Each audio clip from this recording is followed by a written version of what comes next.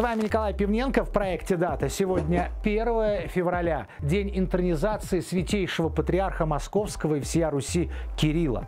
1 февраля 2009 года в Москве в храме Христа Спасителя прошла интронизация 16-го патриарха Московского и всея Руси.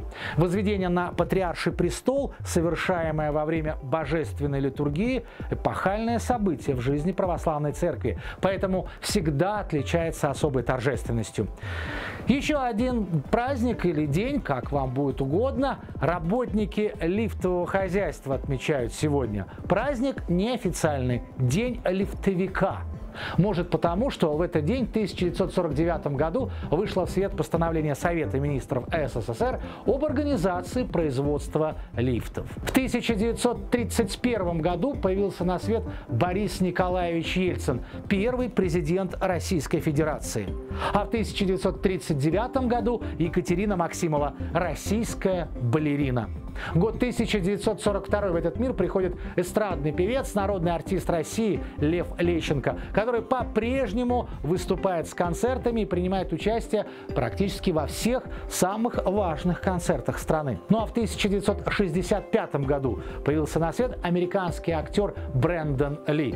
Лайза Мария Пресли, дочь Элвиса Пресли, появляется на свет в 1968 году. Также сегодня свой день рождения отмечает комментатор Георгий Черданцев. Он появился на свет 1 февраля в 1971 году.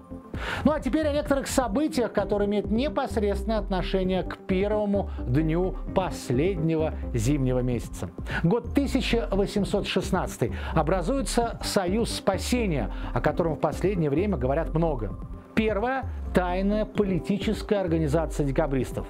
Отличие этого мятежа заключалось в том, что декабристы сознательно не призывали к участию народ, желая сделать все самостоятельно, так сказать, на дворянском уровне. Узкая социальная база восстания сыграла с ними в итоге злую шутку. Подавить его удалось быстро, а многие участники даже не понимали, во имя чего их вывели на Сенатскую площадь. Солдатам гвардейских полков, конечно, не объясняли программные положения так называемого северного общества, а просто предложили своего рода ситуацию, представили ее несколько иначе. Дескать, нужно поддержать законного императора Константина Павловича, брат Александра I, который отрекся от престола, царствовать которому мешает Николай Павлович. Времени на дальнейшее разъяснение у декабристов не было, и они полагались исключительно на личную преданность их полков. Ну и последнее о декабристах. Все мы, конечно, их воспринимаем как что-то светлое, что-то доброе, но на самом деле во время следственных экспериментов и расследования все декабристы, практически все, легко сдавали всех своих соучастников. В 1930 году в Советском Союзе начинается массовая коллективизация, а в 1992 году Декларация России и США о прекращении холодной войны. Для того периода это было невероятно. Казалось, что такое не произойдет никогда. Ведь с окончанием Второй мировой войны, казалось, все должно вернуться на круги своя. Но за горячей войной, которую удалось завершить, все-таки последовала холодная и продолжалась долгие десятилетия. Правда, сейчас говорят, что в какой-то степени холодная война немного к нам вернулась. Год 1994. Вступают в силу так называемые Шенгенские соглашения. Они подписаны странами Европейского Союза и предусматривают введение полной свободы перемещения граждан между государствами-участниками ЕС.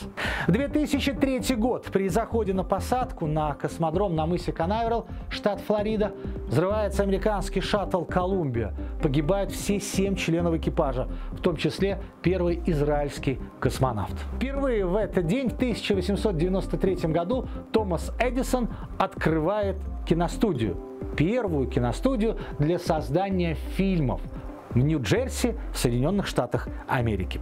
Ну а в 1923 году в Петрограде в 10 часов утра в доме номер 76 по набережной реки Фонтанки открывается первая в Советском Союзе сберегательная касса. 1931 год. Торжественное открытие и первый съемочный день центральной фабрики «Союз кино». Ныне все мы ее знаем под традиционным и, можно сказать, великим названием Мосфильм. Ну и последнее. В 1864 году в Томской губернии умирает старец Федор Кузьмич, принимаемый многими за императора Александра I. Говорили, что будто бы царь не умер, а отправился с посохом странствовать по России. Старец, выдававший себя за бродягу, был явно непростой человек. Он прекрасно знал иностранные языки, отличался разносторонним образованием, благородством осанки и манер, был красив и чрезвычайно похож на Александра I. Очевидцы свидетельствовали, что Федор Кузьмич проявлял прекрасное знание жизни Петербурга, причем придворный, знание этикета, хорошо разбирался в важнейших политических событиях и живо рассказывал о войне 1812 года, о вступлении русских в Париж. Ну, откуда ему это все знать? Любопытно, что при вскрытии саркофага Александра I, разрешенным Александром III, гроб оказался пустым, что подтвердилось и в 1921 году. Может, все это и правда, но согласитесь, нам свойственно иногда преподносить что-то или кого-то совсем в ином контексте. Просто удобным для нас, в удобное для нас время. С вами был Николай Пивненко в проекте «Дата».